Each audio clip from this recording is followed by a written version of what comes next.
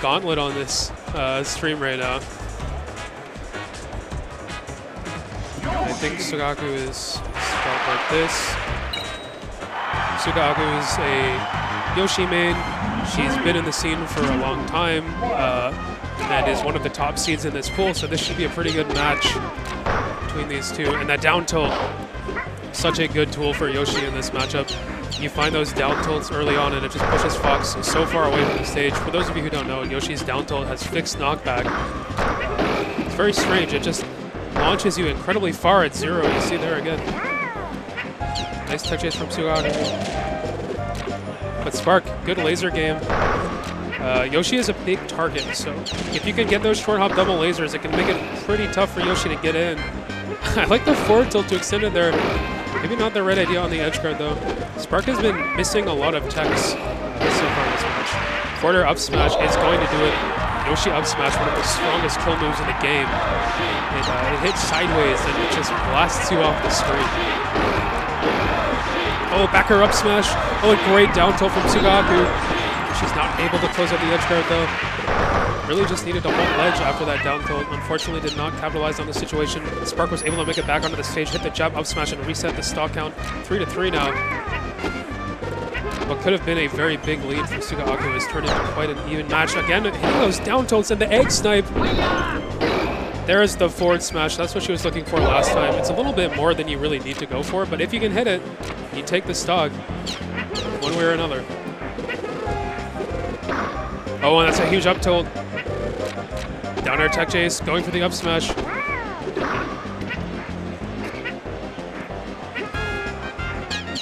little bit of a dangerous double jump from Sugaaku. She's just playing kind of across the stage. Spark finding the drill, making his way in. Using the down air to pressure Yoshi is such a smart idea because as you see, if you use something like an up tilt, Yoshi can just armor through that with the double jump cancels. Uh, but it looks like Spark has got a solid idea of just down airing towards Yoshi, keeping the pressure on. And it, it, can be really tough for Yoshi to get out of that situation. But Sugaaku catching the ledge jump from Fox with that up smash call out. At that percent, you get that trade and it's just a stock for you. It's so nice if you can hit that read. Spark finding the kill off of the top. Still a whole stock down though. Sugaaku, you see her still just fishing for these down tilts to launch Fox off of the stage. Such a good setup move. If you can, uh, if you can find them in neutral like that, it's honestly like it's not a move that you typically see Yoshi's playing around neutral, looking for a down tilt. But it's been working really well uh, for Sugaaku so far in this game, just stopping those grounded approaches, stuffing Fox out. Spark getting a good sequence going. 87% on Yoshi. You gotta be careful here, you're off the stage though. Comes back in with a downer, accidentally crossing Sugaaku up. And so he wasn't able to get the turnaround jab that he needed there to finish that sequence out. Goes for that time and gets a forward tilt and missing the jab up smash. Sugaaku gets a back air and Yoshi is in a great position here. Fox is so far off the stage. She expected a fast fall from Fox, so time that forward smash early in order to contest the fast fall recovery, and Spark smartly just did a slow fall to the ledge, still holding onto this stock. That back air is a huge move, though it's so strong, and actually got the double jump caught there. So Sugaaku takes game one with a two-stop, Definitely a unique approach to this matchup that I haven't really seen before, uh, playing such a down tilt heavy neutral at zero, and it's paying off so well setting up like so many of these edge guards for.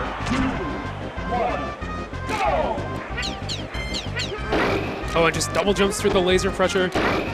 Spark just holding the shield that's so dangerous against Yoshi and accidentally sliding off and dying at zero. That is an unfortunate error for Spark, losing a whole stock off of that. But this is what you want to do against Yoshi, these down airs.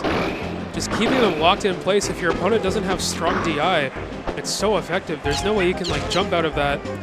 Yoshi's uh, out of shield options are pretty slow.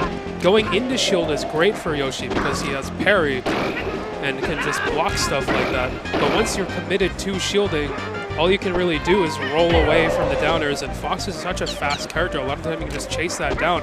Spark taking that whole stock almost unanswered, only 6%. What a great turnaround after that SD. Great composure And jumping over Sugaaku's down tilt attempt. She's still trying to fish for those, getting Fox off the stage early, but Spark is just short hop countering over top of it now. No longer falling for that. I love these up tilt down air combos. It's so old school. Uh, and it, like the reason it's so old school is because people didn't DI back in the day, and Sugaaku is not DIing too much here. Not enough anyway to stop the downer from working. Spark is definitely coming alive in this game here. Remember uh, that Spark SD'd on his first stock at 0%, and just so far has been winning these interactions big time. Just waits out the down, down smash on shield. A tech chase down tilt, but a little bit late. Yoshi gets the buffer parry on that. Spark is just keeping the pressure on so much here, though. Suga Aku really hasn't been able to answer back. She's kind of just getting suffocated. And even as soon as Fox isn't on top of you anymore, he's on the other side of the stage shooting these lasers, making it so difficult. She manages to take that stock. It's a big lead for for, uh, Fox. So when you see Spark so patient on the ground right now, just wants to find that jab up smash. Oh, a little bit risky going for the up air there. And just trying to get this jab up smash. It's not working. Down smash covering multiple options for Suga there. Definitely uh, the tech in was good for Spark, though. It just reset kind of the stage position. Huge up smash call out, though. And oh, I thought that was going to be another up smash, but Suga opted for the down smash there, which made things a little tougher than they needed to be, and accidentally sent Fox the wrong way. So both players pretty even. Spark not able to connect the jab up smash, though. It can be pretty tough, especially when the nerves start to set in in this like pressure situation in a tournament match. Uh, it's a tight window when jab starts knocking down. And Spark a little bit too low on the recovery angle. All of a sudden, this match is evened up. Sugaaku only needs to take one more stock to close the set out. But is Spark even going to let it happen? He's playing the Yoshi matchup so well right now with these up tilt down airs. The 2007 combo coming out time and time again. All this pressure on the Yoshi and Sugaaku accidentally double jumping off the stage, SDing, and Spark managing to even the stock count up one to one has really started playing a lot faster when he gets into Sugaaku's face. Like, uh, just so much more pressure and like down airs, and it's just helping so much. Uh, it can be really tough for Yoshi to deal with that. I think up smashing or up tilting out can be only hope a lot of the time. If you do manage to find a gap in the Fox pressure, you can set up these devastating punishes. It's kind of Yoshi's trademark in this matchup. But Aku has not been able to do that yet. And so far this game, Spark is just keeping out. 97% already. And you know at this percent, Spark is just going to start looking for that jab up smash.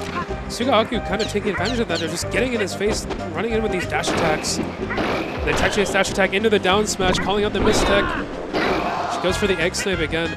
Uh, I don't if the egg snipe is the best option against Fox, just because it's really easy for him to ram through that egg with the up and kind of just invalidate it.